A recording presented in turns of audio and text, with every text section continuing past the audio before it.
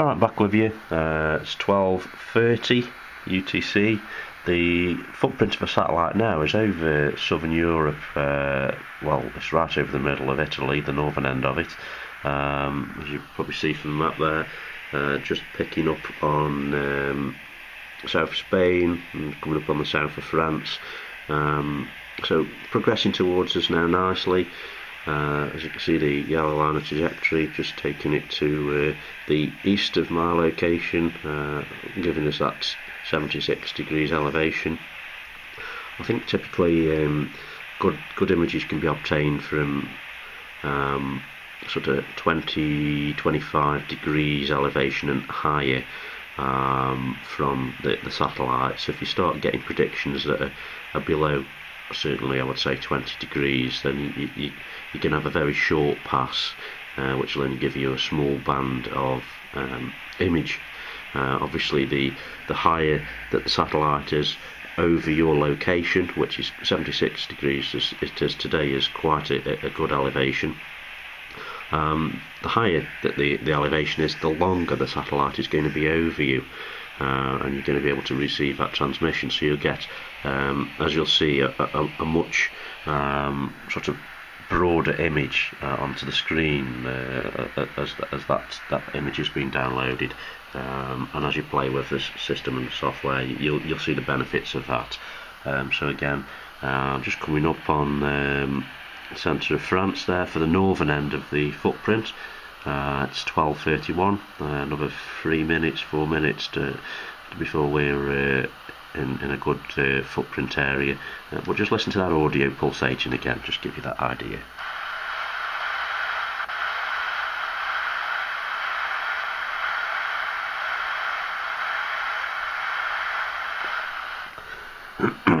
okay, um, as I said to you, that one of the important things once you're, you, you're receiving the imagery is not to have the volume on the uh, receiver set too high as it's uh, going into your laptop because you will over, over deviate the audio and the, the, you'll get like a scatter or splatter across the, the image that you receive.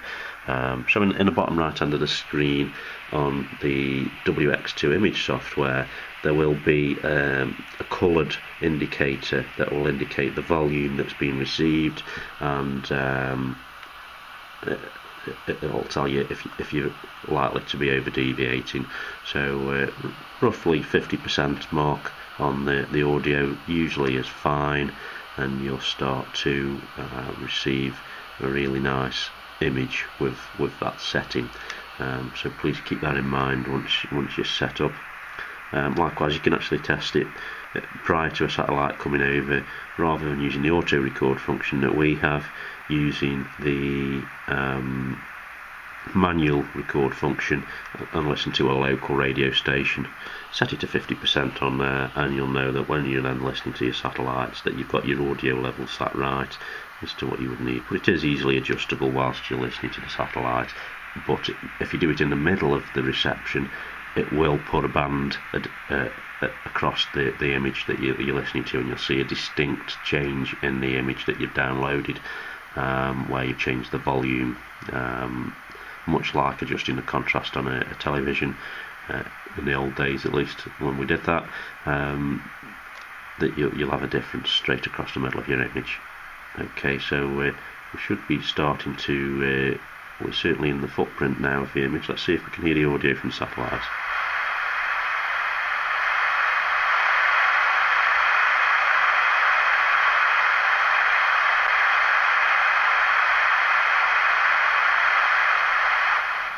Okay, so we're not picking anything up just yet. Uh, we're still on the extremities of that footprint, but um, at the moment there's no sort of defined audio tones that will be notable shortly. Um, again, we're on the extremities.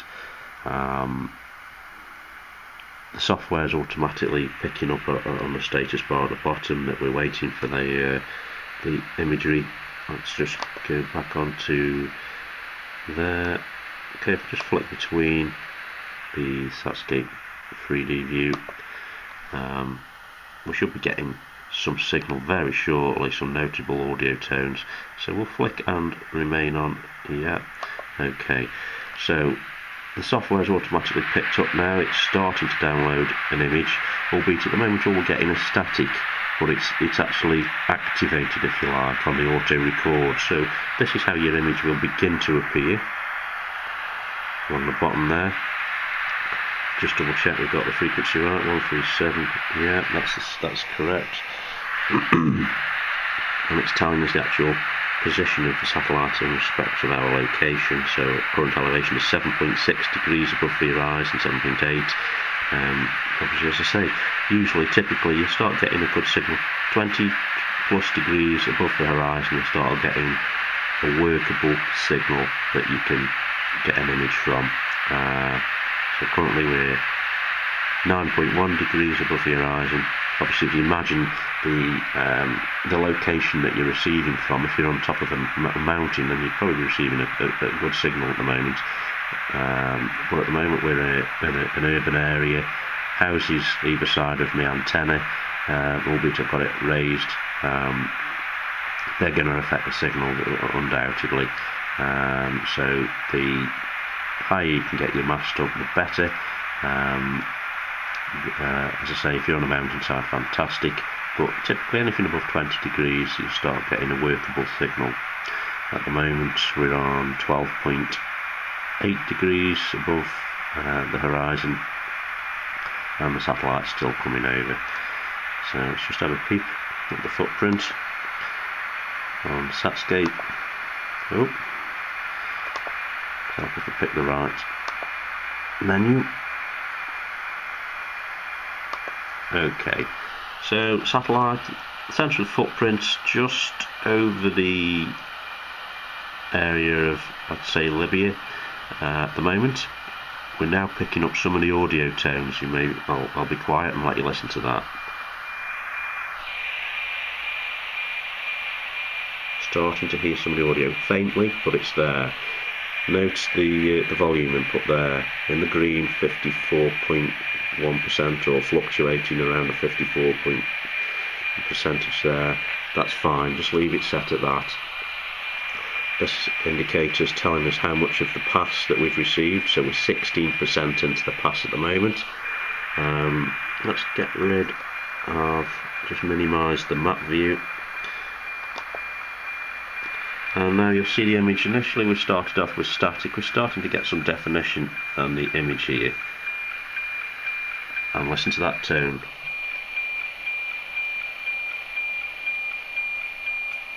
that's really coming clear now.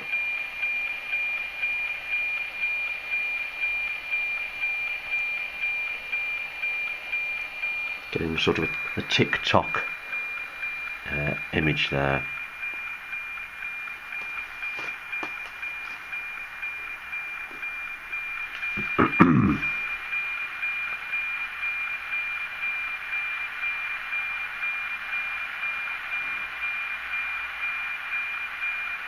okay, the elevation now is 27.9 degrees, 28 degrees above the horizon. Um, and basically, the image you're getting is, is what the satellite has seen. So, uh, as it's working its way northbound, um, the camera is uh, giving us some of the footage that it's seen from space or in that low Earth orbit as it's called. Uh, really good signal coming in now. 7 dB plus 7 dB on the uh, display on the radio and as you can see that, that, that earlier static's all gone and we're starting to get the clear definition these bands here uh, as I understand the telemetry data from the satellite um, I can't explain to you what those are for but I'll just give you a, an idea as to why you've got these bands on the image. Now the image will be split into two halves. You get um, as I understand it an infrared image on one side of the screen and the other side of the screen will be the visible image. Um, WXtoImg will use those two separate images and the data held within them and the telemetry to uh, process the, the images even further. And it'll tell you things like the moisture uh, sort of concentration in the cloud, um, air temperatures where you, you have no cloud cover, uh, sea temperatures, uh, which we can look at shortly once the images have all been processed, um, and all, all sorts of useful information that you can get there. So if you if you want to know where it's uh, going to be nice and warm to go and have a, a nice swim on the seaside, then uh, you can check the water temperature before you go using this software. So if you want to, a quick weekend away, use the software and see where the sun's at. Uh, obviously, no guarantees it's going to be there when you get there, but look at that. The image is now coming much clearer. Uh, you can see cloud formations there, a bit of a landmass there. I won't try and second guess where that is at the moment uh, for sake of embarrassing myself. Um, but uh, that tick-tock tone as the satellite image is giving the basically the, the data from if you like left to right of the screen tick tock tick tock tick tock like an old dot matrix printer elevation of the satellite currently 73.9 degrees above us um, so getting close to its maximum elevation before it starts to dip down again. Uh, I think we were about 76 weren't we today or thereabouts. So we're 48% of the way through the pass. And the elevation now of the satellite starting to dip so it's it's going to be starting to go down in the sky if you like um, towards the north now uh, in the direction of the uh, the North Pole there. Obviously these are polar satellites as they're called. Uh, so we'll watch as the image uh, image develops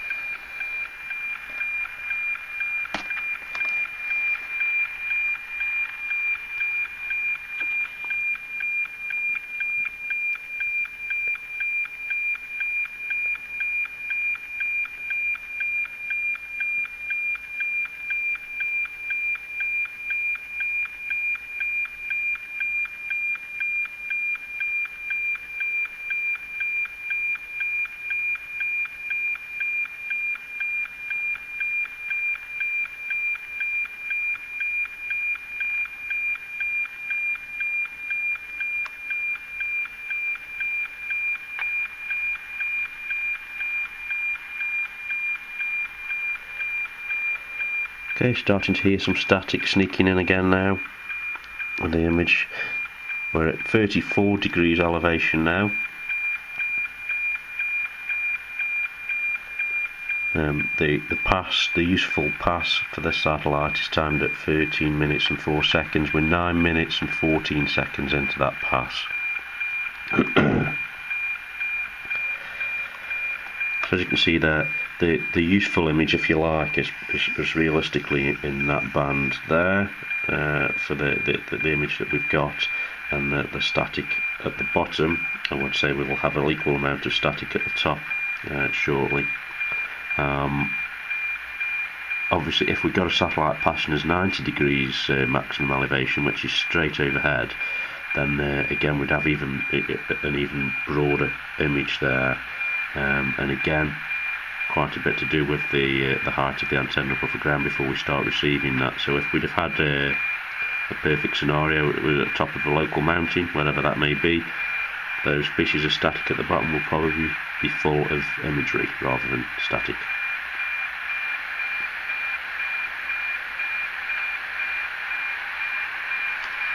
Okay, that signal's starting to drop down there now, about uh, plus 3 decibel signal on the meter, and uh, the static's coming in again at the top of the image. Starting to get reverting to that tick tock as it becomes over the horizon. Um, but uh, certainly looking at that, I think that's the area of uh, the west of France, northern France. I think I could be wrong. Wait for the image to process. this looks like uh, Norway, Sweden region, and uh, some cloud definition there. And the infrared image this sort of shows more about where the actual moisture is within that cloud. So, see, obviously there's a a broad band of cloud there. This is showing us the, the, the concentrations of moisture within that cloud. Um, but as we'll see shortly, once the image has been processed, far more data is uh, is held in those images as we, as we look at it than uh, just the visual things that we can see here. Uh, so we'll just wait for this to finish itself off um, just short of a, a minute and a half before we're, we're done here now.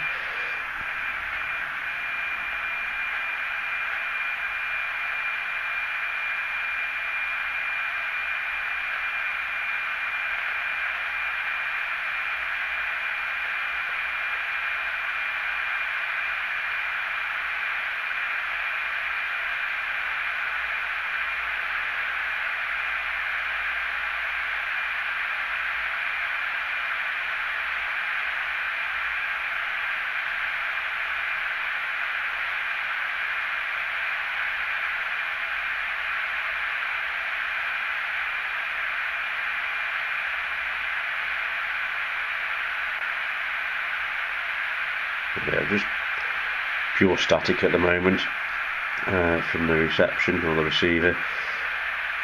As you'll hear, once it starts over the horizon, we start getting that uh, that tick tock tick tock sound that we were getting earlier on. Um,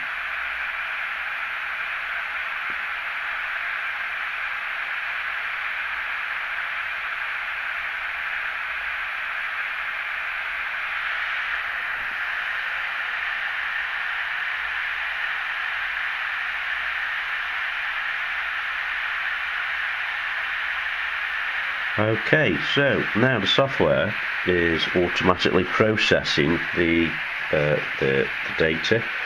Uh, it's building a map for the pass from the satellite. Uh,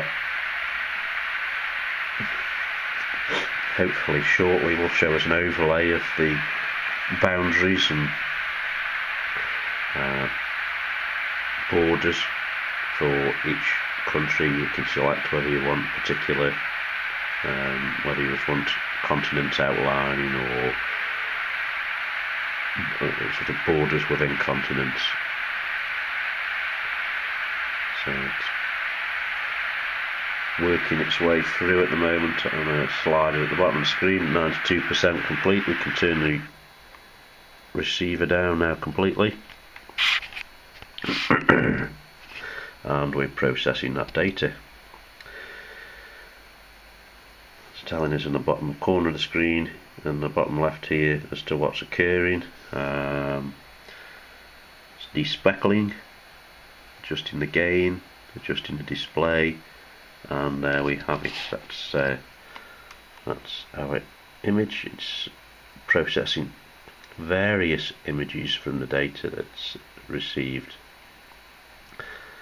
Working through the infrared, I'm not actually doing anything to the, the keyboard or the computer at the moment. This is all being processed itself. Now that's some of the infrared data showing uh, moisture contents. Um, and again, the system is, is processing this all itself at the moment.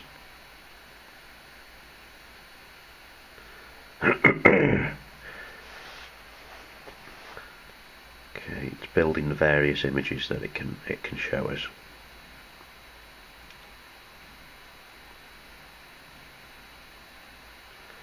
Sharpening, despeckling, adjusting.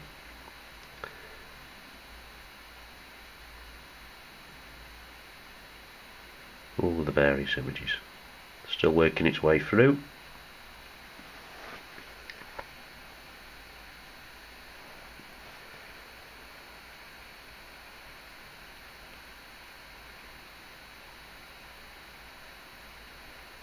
Okay. No, still working, still uh, processing. Done. Right, we're done. Let's look at some of these images then that we've got. Right. Now, at the moment, because it's on auto record, it's actually in the bottom, it's processed all the data and the images. It's actually now waiting for the next satellite pass in my list. It's waiting for NOAA 18. So what we need to do is to go up to the top corner here, click on File, and just select Stop. And we can start playing about with the data that we just downloaded. Um, audio file, so that's the audio file that we just downloaded. It's a, a thumbnail of it if you like. Uh, and we'll look at the raw image, which is as there. You can see the static, again a thumbnail uh, representation of that raw image um, and the saved images. Now there we go. This is where it starts to get interesting. Okay. Um, so if we select those. Right. Now as you can see my uh, guesses as to uh, where places were. This is actually enhanced the satellite image by colouring in the continents for us uh, in like a green uh, textured colour there. Um, so as you can see, quite predictably, the United Kingdom is uh, is there without that uh, enhancement in green. Quite difficult to make out amongst all the cloud mass, uh, and quite predictably, as I say, uh, the UK under a huge cloud. No change there then um, but you can see that, that sweeping effect of the cloud. I'm no weather expert, so I'm not going to try and tell you it's some sort of front or high pressure, low pressure, whatever. You, you can figure that out for yourselves, but it's fascinating to be able to um, use this free image download. Going back to uh, the thumbnails there, um, certainly some of the look at this the infrared there. Um, again, the continents tricky to make out, but we can we can make out some of the continents down here. I think, or it could even be a break in the cloud. But look at that. That's that's all of the um, the different moisture content inside of that cloud, um, and we get an idea there of that's where the rain's at, guys. That's where the snow's at. You know, um, looking at the bottom corner here in the in the red, uh, you know, that's definitely you know cloud burst kind of um, cloud. Uh, people are, getting uh, a drenching from that. Uh, so useful again, you know, if you're uh, out camping or whatever, and you're into your radio. Uh, if you've got the laptop with you, take the uh, quadrifilar stick it on the roof rack and you can be independent from any weather forecasts and news and you can you can see what's coming certainly in respects of the the rain. Uh, and again compare two or three different satellite passes and you can see the direction it's all travelling in. Um, okay again different images there. Um,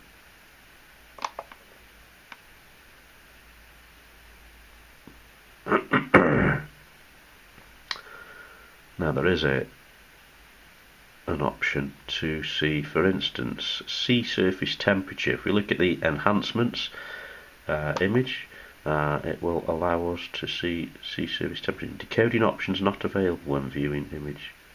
Use file, open raw image. So we need to look at the raw image for that kind of data apparently. So let's see. It's loading itself up. Right then.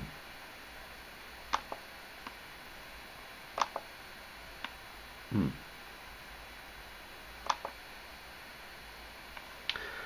Let's have the raw image.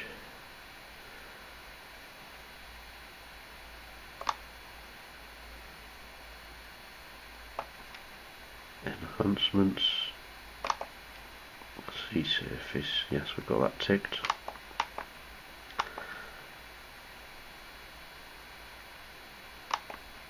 Try again. So I've clicked on the enhancements, selected the sea surface temperature, and okay, yeah, that's that's got it.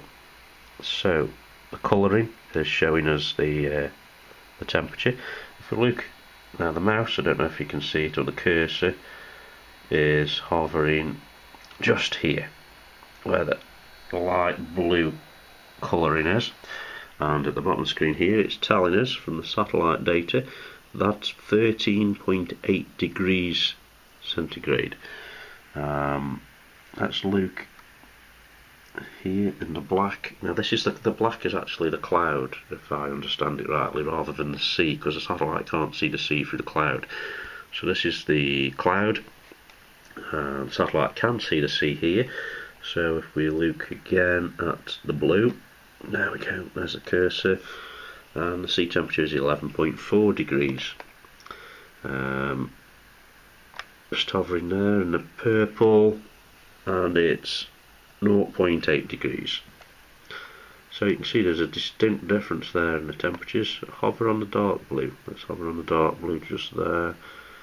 Um, 8 8.8 degrees. Um, so you can see let's just vary it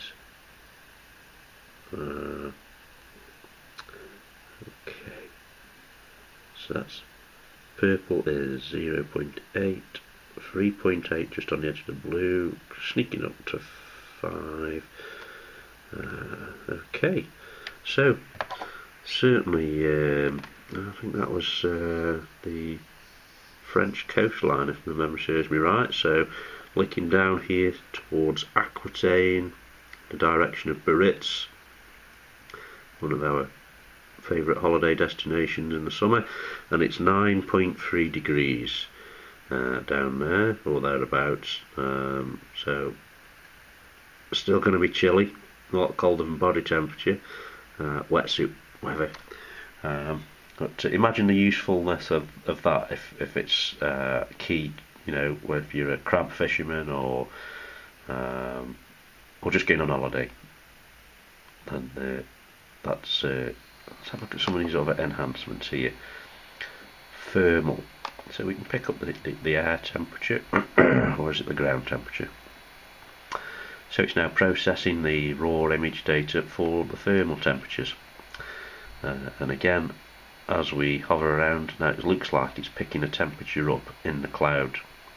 Uh, because when we look at the, the dense cloud areas mean when we looked down here on this area where the moisture was and somebody was getting that cloud burst that we discussed um, minus 39 degrees C it, within that cloud. So obviously as that um, as that moisture descends and warms up you're, you're looking at obviously ice at that height um, but uh, once it descends it'll get warmer and become sleet hail snow, maybe even uh, get warm enough to become uh, just rain. Uh, let's look at the warmer areas, or what appear to be the warmer areas. Uh, so just looking up here, uh, minus 3.3. So this is going to be at some altitude, guys. Don't forget, obviously, the higher up you get in the altitude, the cooler things get. Um, but what a difference there in that corner. Um, let's see what the coldest is we can find with it. Let's hover the mouse around uh, minus 49.6 there. So uh, fascinating data absolutely fascinating. Um, coming up to this, this little blue area here minus 30.6 let's look at some of the other enhancements we can get. Uh, vegetation. Uh, let's let's have a look at that. That's processing itself. Right, okay. Uh, warning, enhancement ignored. Could not find sensor 1 and sensor 2 image for vegetative index enhancement. So it looks like that, that particular satellite doesn't give us that data. Uh, we can look here for colour infrared enhancement, general infrared enhancement, thunderstorms, warm seasons and hurricanes. So let's have a look at thunderstorms. Let's see if anywhere's getting a thunderstorm from the data that they got there or even how that's depicted.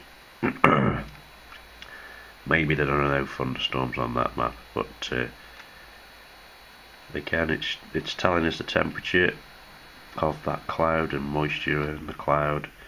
Um, nothing obvious to me there that appears to be a thunderstorm, but maybe these denser areas could be, or perhaps there's no thunderstorms on this particular pass. So hopefully guys, let's give you some indication as to uh, the usefulness of uh, the weather satellite images. They are free to download, you don't breach any kind of legislation in listening to them. Um, obviously if you were to start selling the imagery there may be some uh, copyright issues there but free to download and to utilise for your own personal use. Um, have a play around with it. WXtoImg there's a software that we've used to download the satellite image and Satscape is the other piece of software that we used to view the satellite coming into pass. Uh, free, both free pieces of software, as you can see now, the satellite we looked at up over the North Pole. Imagine being able to view that, that'd be quite, well, it'd be a very white image I would imagine in the areas it is, but imagine the temperatures at the ground level. Um, quadrifilar helix antenna, as I say, about £20 and a bit of tinkering around uh, to build that.